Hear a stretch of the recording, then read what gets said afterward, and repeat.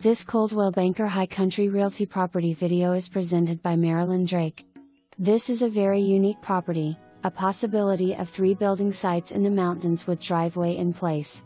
The land has a level to gentle terrain, and there is already a septic system, public water meter, and power meter to the site where the MH is currently located.